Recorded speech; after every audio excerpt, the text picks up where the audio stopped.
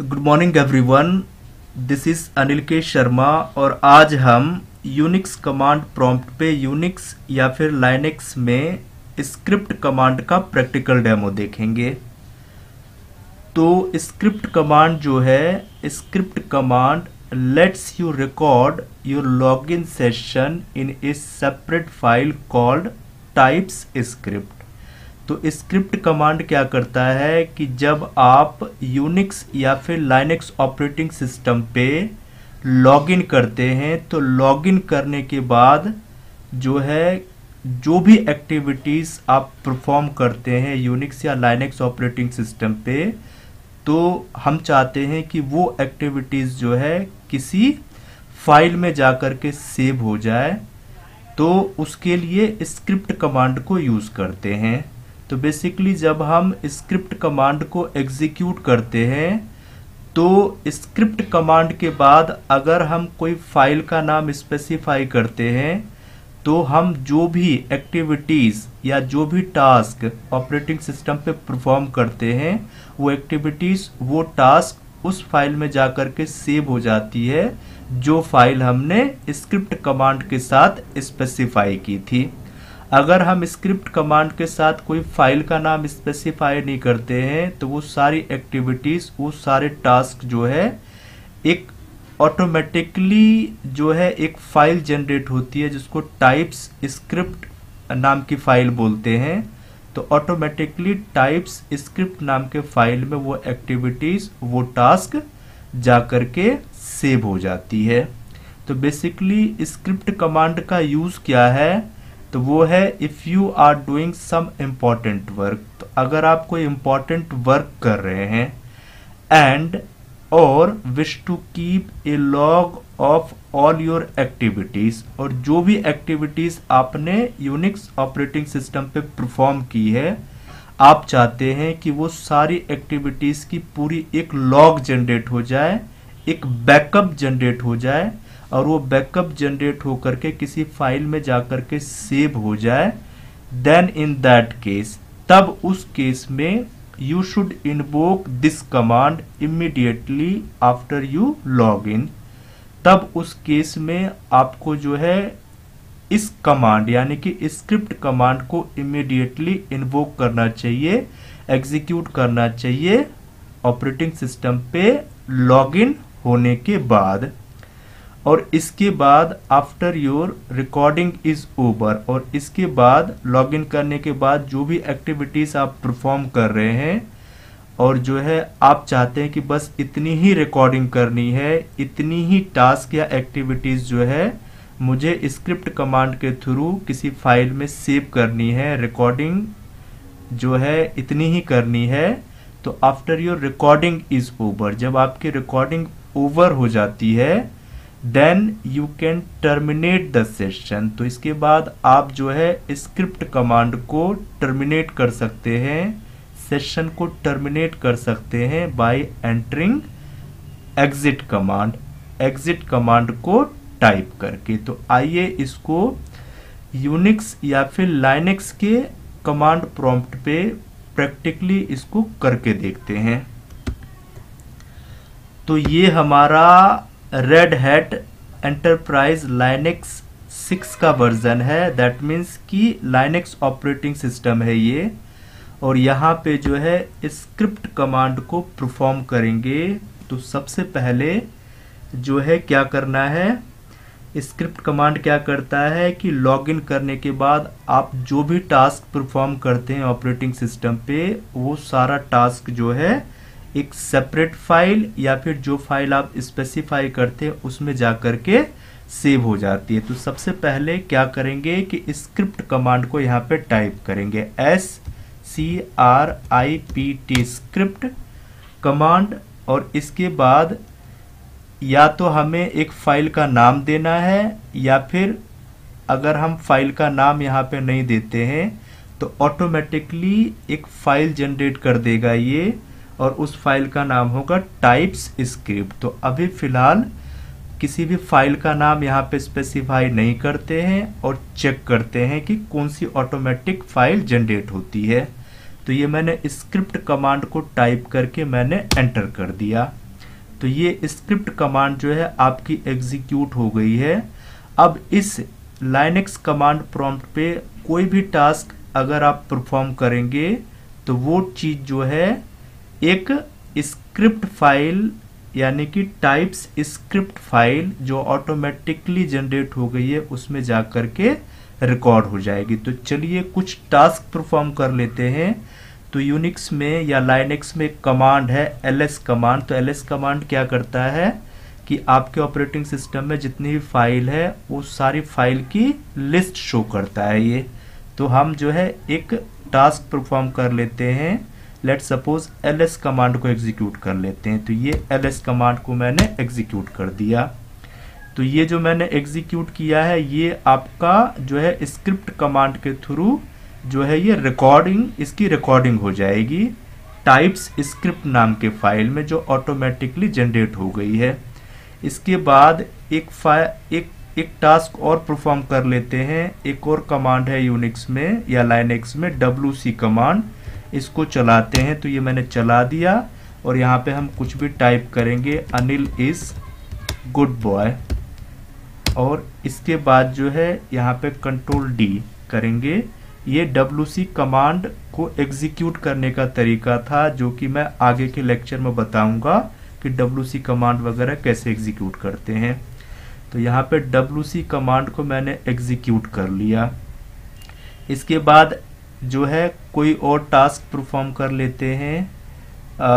L S command को एक बार और एग्जीक्यूट कर लेते हैं तो ये मैंने एल एस कमांड को एक बार और एग्जीक्यूट कर दिया। अब जो है स्क्रिप्ट कमांड के थ्रू जो है ये सारी चीज़ों की रिकॉर्डिंग हो रही है। एक ऑटोमेटिकली जनरेटेड फ़ाइल जिसका नाम है टाइप्स स्क्रिप्ट उसमें। तो अब जो है हमें स्क्रिप्ट कमांड से बाहर आना है तो इसके लिए टाइप करेंगे एग्जिट ये एग्जिट तो स्क्रिप्ट फ़ाइल से मैं वापस आ गया। अब हम चेक करते हैं कि स्क्रिप्ट फ़ाइल को एग्जीक्यूट करने के बाद यूनिक्स कमांड प्रॉम्प्ट पे या इस लाइनेक्स कमांड प्रॉम्प्ट पे जो भी टास्क मैंने परफॉर्म किए हैं, क्या वो जो है एक फ़ाइल में जाकर के रिकॉर्डिंग हुई है या नहीं हुई है? तो इसको चेक करने के लिए सबसे पहले हम फाइंड करेंगे कि स्क्रिप्ट ऑटोमेटिकली एक फ़ाइल को जनरेट कर देता है। अगर हम स्क्रिप्ट के साथ कोई फ़ाइल का नाम नहीं देते हैं तो उस फ़ाइल का नाम है टाइप्स स्क्रिप्ट फ़ाइल तो इसको एलएस कमांड के थ्रू पहले चेक करते हैं कि टाइप्स स्क्रिप्ट नाम की फ़ाइल जनरेट हुई है या नहीं हुई है, नहीं हुई है। तो इसके लिए टाइप करेंगे एलएस और एंटर प्रेस करेंगे। तो यहाँ पे हमारे पास जो है, ये रहा टाइप्स स्क्रिप्ट नाम की फ़ाइल यहाँ पे जनरेट हो गई है।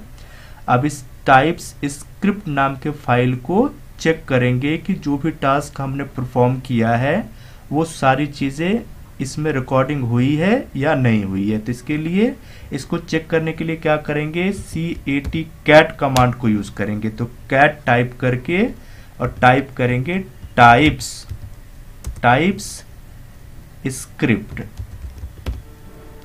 टाइप्स स्क्रिप्ट और इसके बाद एंटर प्रेस करेंगे। तो ये जो है हमारा, ये कैट हो गया और टाइप्स स्क्रिप्ट ये फ़ाइल जनरेट हो गई थी क्योंकि मैंने स्क्रिप्ट कमांड को एग्जीक्यूट किया था। तो टाइप्स स्क्रिप्ट वाले फ़ाइल में क्या चीज़ रिकॉर्डिंग हुई है कि हमने स्क्रिप्ट कमांड को एग्जीक्यूट करके हमने सबसे पहले एलएस कमांड को एग्जीक्यूट किया था। तो इस एलएस कमांड को इसने रिकॉर्डिंग करके यहाँ पे ये शो कर रहा है। इसके बाद डब्ल्यू सी कमांड को एग्जीक्यूट किया था, ये सारा शो कर रहा है। इसके बाद फिर ls कमांड को एग्जीक्यूट किया था तो यहाँ पे ls कमांड का जो है एग्जीक्यूशन भी दिखा रहा है। तो इस तरीके से स्क्रिप्ट कमांड को यूज़ करके जो है, हम थ्रू आउट लॉगिन सेशन में, यानी कि यूनिक्स या लाइनेक्स ऑपरेटिंग सिस्टम पे जब हम लॉगिन कर लेते हैं और स्क्रिप्ट कमांड को एग्जीक्यूट करते हैं तो जब तक यूनिक्स कमांड प्रॉम्प्ट या लाइनेक्स कमांड प्रॉम्प्ट पे हम काम करते रहेंगे, तब तक की सारी एक्टिविटीज़ जो है, वो एक ऑटोमेटिक जनरेटेड फ़ाइल जिसका नाम है टाइप्स स्क्रिप्ट फ़ाइल में जाकर के वो रिकॉर्ड हो जाती है और कैट कमांड के साथ टाइप्स स्क्रिप्ट फ़ाइल को रख करके हम वो सारी एक्टिविटीज़ उसमें चेक कर सकते हैं। तो ये था स्क्रिप्ट कमांड का यूज़। अब जो है स्क्रिप्ट कमांड के साथ अपनी तरफ़ से कोई फ़ाइल स्पेसिफाई करके चेक करते हैं कि उसमें रिकॉर्डिंग होती है या नहीं होती है। तो इसके लिए सबसे पहले इसको क्लियर कर लेते हैं। तो क्लियर कमांड से इसको क्लियर करेंगे। C L E A R clear और फिर से स्क्रिप्ट कमांड को एग्जीक्यूट करेंगे तो S C R I P T script और इसके बाद अब जो है हम कोई फ़ाइल का नाम देते हैं। तो एक फ़ाइल का नाम दे देते हैं हम आ, Anil one. Script Anil one और इसके बाद एंटर प्रेस करते हैं। तो ये कह रहा है script started file is Anil. अब जो है यूनिक्स कमांड प्रॉम्प्ट पे, यानी कि इस कमांड प्रॉम्प्ट पे अब जो भी टास्क परफॉर्म करेंगे, जो भी एक्टिविटीज़ परफॉर्म करेंगे, वो सारी एक्टिविटीज़ जो है, वो सेव हो जाएगी अनिल वन नाम के फ़ाइल में। तो कुछ भी काम कर लेते हैं इस पे एल कमांड को फिर से एग्जीक्यूट कर लेते हैं। एक डायरेक्टरी बना लेते हैं M K D I R ये कमांड है यूनिक्स में, जो कि आगे के लेक्चर में मैं सिखाऊँगा। तो एक डायरेक्टरी बना लेते हैं M K D I are Rajesh. ये राजेश नाम की एक डायरेक्टरी बना दी मैंने एंटर डायरेक्टरी बन गई है। और इसके बाद जो है, फिर से एल एस कमांड को यूज़ कर लेते हैं। ये एल एस कमांड को मैंने फिर से यूज़ कर लिया। डब्ल्यू सी कमांड को यूज़ कर लेते हैं। ये कर लिया मैंने। और यहाँ पे कोई कोई चीज़ टाइप कर लेते हैं. दिस इज़ गुड एंटर और कंट्रोल डी दबाएँगे. तो ये डब्ल्यू सी कमांड के बारे में बताएगा कि वन जो है, ये क्या है? पूरी एक लाइन है. दिस इज़ गुड थ्री जो है, वो तीन वर्ड है. दिस इज़ गुड ये तीन वर्ड है. और थर्टीन जो है, ये कैरेक्टर है. T H I S is good इस सबको टाइप करेंगे. तो ये थर्टीन काउंट होकर के आएगा. जो है स्पेस के साथ one two three four five six seven eight nine ten eleven twelve और थर्टीन थर्टीन आएगा मतलब काउंट करने के बाद. तो अब जो है स्क्रिप्ट कमांड से बाहर आ जाते हैं तो इसके लिए टाइप करेंगे एग्जिट ये एग्जिट अब मैं स्क्रिप्ट कमांड से बाहर आ गया. और जो है, अब जो है चेक कर लेते हैं। सबसे पहले फ़ाइल को चेक करते हैं। अनिल वन, नाम की फ़ाइल जनरेट हुई है या नहीं हुई है? तो इसके लिए टाइप करेंगे एल एस ये एल एस मैंने टाइप कर दिया और यहाँ पे राजेश नाम की एक डायरेक्टरी जो बनाई थी, वो यहाँ पे शो कर रहा है। और अनिल वन नाम की एक स्क्रिप्ट फ़ाइल जनरेट की थी मैंने, अनिल वन ये रहा। अब इसको चेक कर लेते हैं कि जो भी एक्टिविटीज़ हमने परफॉर्म की है, वो सारी एक्टिविटीज़ अनिल वन नाम के फ़ाइल में रिकॉर्डिंग हुई है या नहीं हुई है। तो इसके लिए क्या करेंगे? C A T cat Anil one और एंटर प्रेस करेंगे। तो ये रहा आपका जो है, ये रहा आपका कैट अनिल और कैट, ये रहा आपका कैट अनिल, और कैट अनिल जो स्क्रिप्ट कमांड हमने बनाई थी अनिल वन, इसमें सबसे पहले हमने एल कमांड को परफॉर्म किया था M K D I are Rajesh नाम की एक डायरेक्टरी बनाई थी, फिर एल कमांड को एग्जीक्यूट किया था, उसके बाद फिर से डब्ल्यू सी कमांड को भी एग्जीक्यूट किया था तो ये सारी एक्टिविटीज़ हमने परफॉर्म की थी स्क्रिप्ट कमांड को एग्जीक्यूट करने के बाद तो ये सारी एक्टिविटीज़ जो है अनिल वन नाम के फ़ाइल में जाकर के सेव हो गई है। तो इस तरीके से हम जो है स्क्रिप्ट कमांड को यूज़ कर सकते हैं। तो इसको क्लियर कर लेते हैं क्लियर कमांड से। तो ये क्लियर हो गया। तो ये था स्क्रिप्ट कमांड का पूरा यूज़ तो thank you Thank you for watching this video.